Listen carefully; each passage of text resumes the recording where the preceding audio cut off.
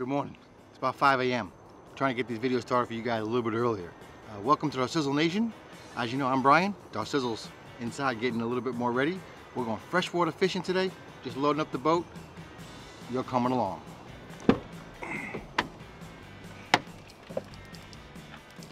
Ready for some fishing, Sizzle? Yep, You don't sound ready.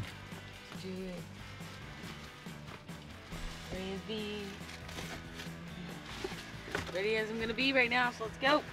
This is why I don't film in the morning. Let's go. Woo! Looks like a beautiful day on the lake. Shoes are dirty. Good morning, everybody. The sun is finally rising. Today, we are switching it up. We are here at Lake Ida, in which is right here, located in Delray Beach, Florida. And there's a lot of awesome species you can catch here, such as like exotic fish, like the exotic clown knife fish. You can catch peacock bass, largemouth bass, sunshine bass, which is a hybrid bass. And there's just a lot of great things that can go on today. I'm excited. We have live bait. We got to roll out. Let's go.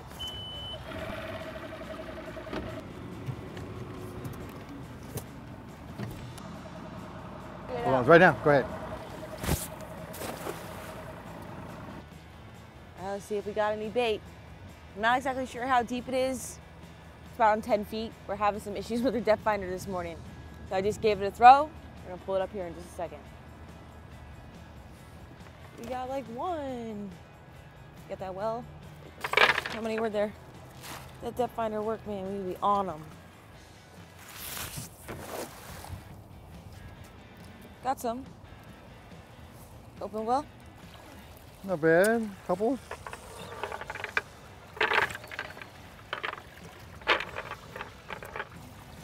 Nice. Throw one more time. You gonna throw one more time? Really watching where those birds are at. You're crazy. I think I need to get a little closer in, but if you can get on them, they're there. That's crazy, man. Ooh, look at those shad sizzle. Come on. How come you only So- make that thing work when I'm not throwing my net? All right. My depth finder has been a little wacky. Ugh.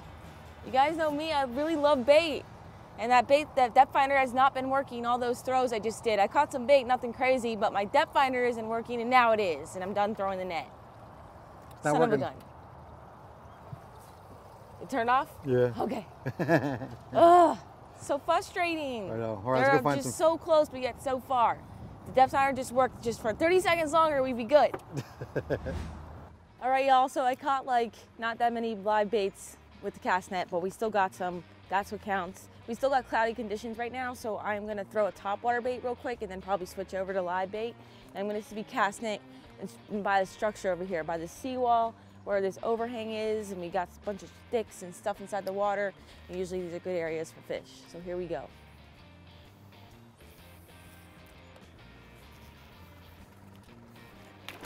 Holy crap. Maybe throw a shiner over there. Where was it? I think we're at that dock.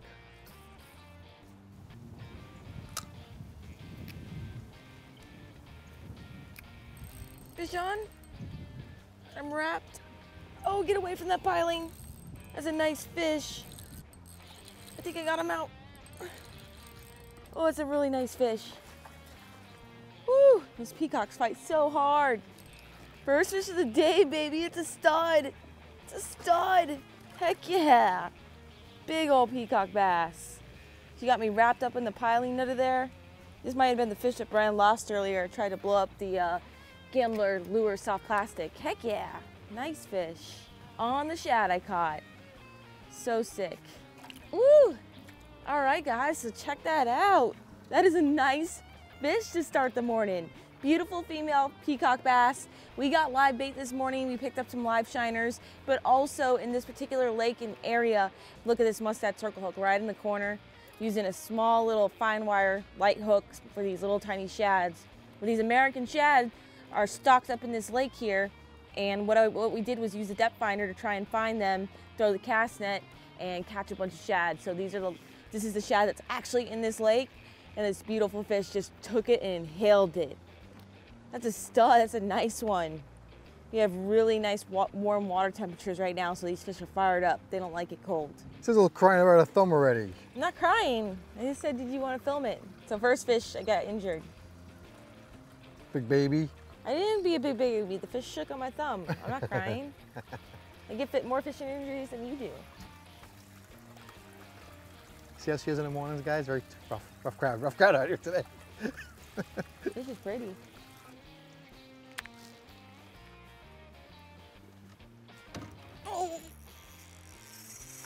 Uh.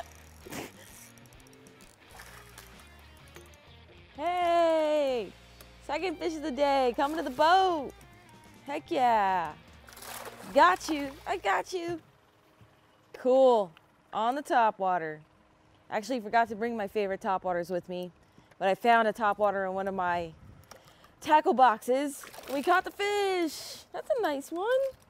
Not bad. Whoa, he just came right off. Not bad. It's not a bad fish at all. Probably one, one and a half pounds. Nice largemouth bass. All right, so that's two fish, two different species, one on top water, one on live bait. They are just tearing it up today. It's gonna be a good day. And as the sun gets higher, usually these fish get more fired up. Nice. Nice job, Darcizzle. I was I was doing the trolling motor that time. But you know that's the, that's the great part about this area in South Florida. We're so blessed. There's so many different fish in here. You know, bass and well, we're over 10 times, but it's pretty awesome. It's fun. All right, y'all, so this is the American shad. I gotta get them in the water real quick. These are not very hardy baits whatsoever, so you don't really wanna touch them, um, only when you're going to rig them, but I'm just using a mustad circle hook, really fine wire, and just running it straight through the top of his nose like so. And with a loop knot it's tied onto with 10 pound fluorocarbon leader. And I've got a little tiny split shot on there.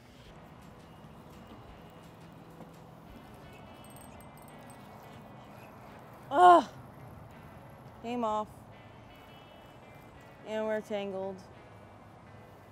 All right, I need help.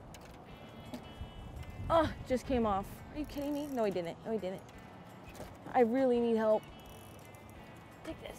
Okay. All right. Woo. Still got a big mess. I got, I'm tangled in my other line over here. We got lines out everywhere. Both lines went off at the same time. One, lost one fish. Hopefully this stays on. No, it's this fish. Two. Oh gosh. Oh gosh. Yeah, two? Take this, take this fish. Flip this fish in. Hold on, hold on, Flip this fish in. hold on. All right, I got it. Okay. Oh, you left this line out. Nice. Hooked up. Solid peacock bass. The other line just went off. Now I'm reeling that up. I had Brian help me. As soon as I flipped that other fish in, pretty funny. Even with the mess, we're still catching fish. Woo! I have a drag set really light.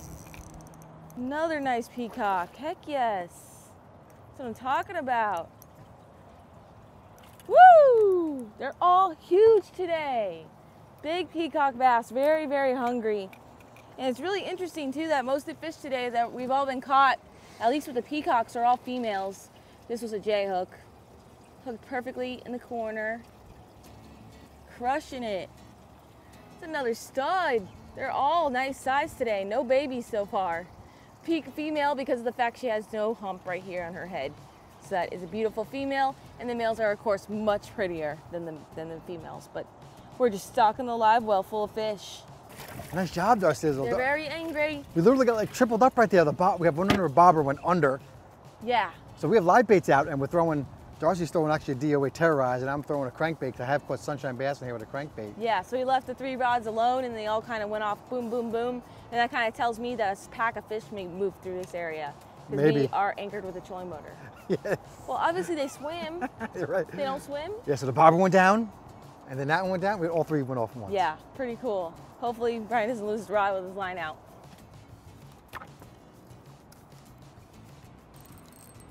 Fish on. We just reset all our lines. Ooh, that one just jumped. What was it? I missed it. Did you see it? No. Didn't. This one too? Oh boy, they're all getting hit again. Doubled up, doubled up. Heck yeah! Look at that toad. They're getting bigger, guys. They're getting bigger. That is a nice one. Dude, Brian's like, let's leave this spot. We gotta go catch something else. Like, dude, there's fish here. So put the bait down, we're catching bigger and bigger fish.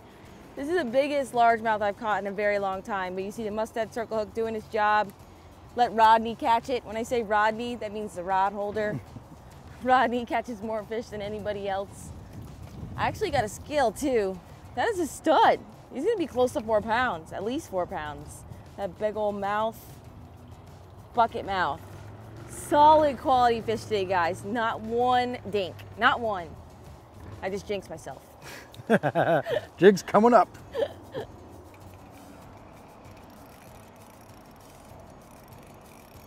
You got no drag on this, Sizzle? Don't do too Whoa. tight. The Joe Sizzle was catching that fish, this line was going off.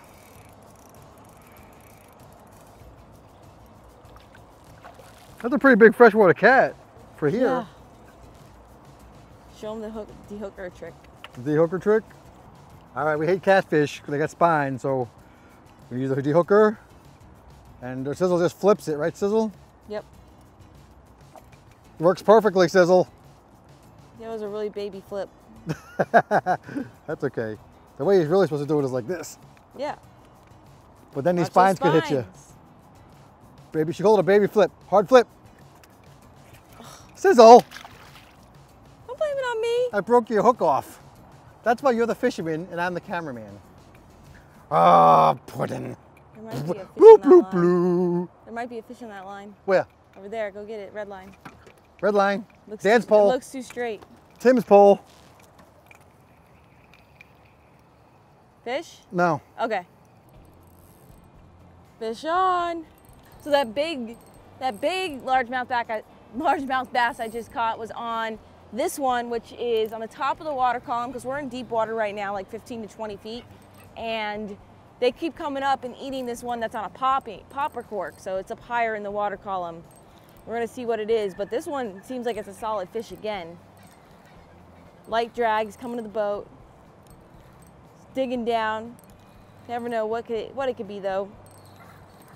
It's a great thing about fishing. There's a popping cork. I mean float, color. Another nice pass. Wow.